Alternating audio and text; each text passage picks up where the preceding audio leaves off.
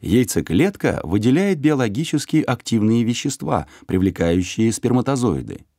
Многие их тысячи буквально атакуют яйцеклетку.